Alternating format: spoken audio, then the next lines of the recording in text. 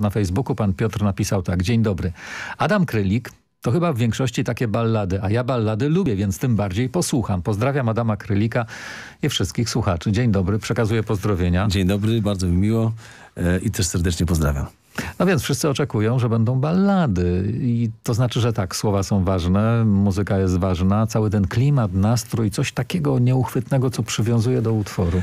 E, no właśnie, ja się nie zastanawiałem za bardzo, czy to będą ballady, czy to będą e, piosenki ostre. Wydaje mi się, że to wyszło samo. To po prostu, to się samo jakby dookreśliło w momencie powstawania tak naprawdę y, y, nie miałem jakiegokolwiek założenia, jak, jak ta płyta powinna brzmieć, jaki powinna mieć y, styl, charakter.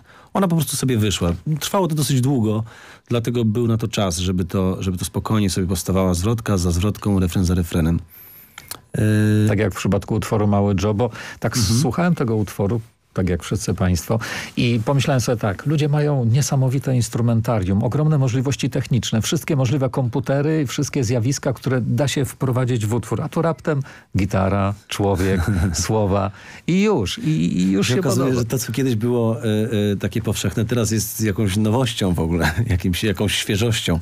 No no nie ukrywam, lubię gitarę. Po prostu lubię akustyczną gitarę, lubię jej brzmienie. E, sam może nie jestem jakimś super gitarzystą, ale chętnie korzystam z, z, z, z wspaniałych muzyków. No właśnie, kto ci pomagał przy tej płycie? Powiedz e, Producentem. Współproducentem jest Marcin Barycki, który też jest gitarzystą akustycznym, elektrycznym, ale też pojawił się Jacek Wąsowski na, na gitarze dobro, na gitarze akustycznej, na mandolinie, Jurek Runowski, Michał Grot, Michał Dąbrówka na bębnach, Michał Grot na basie.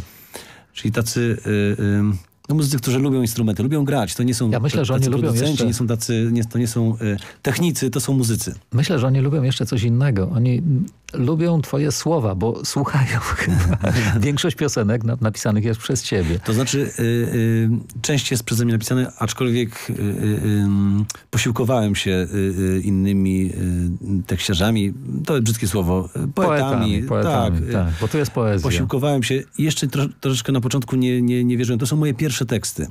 Te, które się tu pojawiają, to są moje w ogóle pierwsze teksty. Ja, ja nie myślałem, że będę kiedykolwiek pisał teksty. Teraz dopiero przy taki moment, że chyba zacznę to robić częściej, więcej, bo widzę miły odzew tak naprawdę.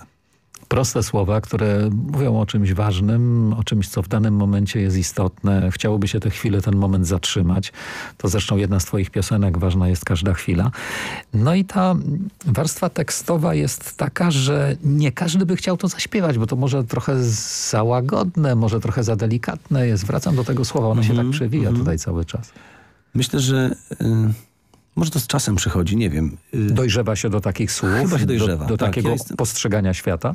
Wydaje mi się, że tak. Ja, ja, ja, się naśpiewałem w zespołach i heavy metalowych i, i, i, różnych, różnego typu. Miałem doświadczenia muzyczne, miałem długie włosy i, i tarzałem się po scenie również.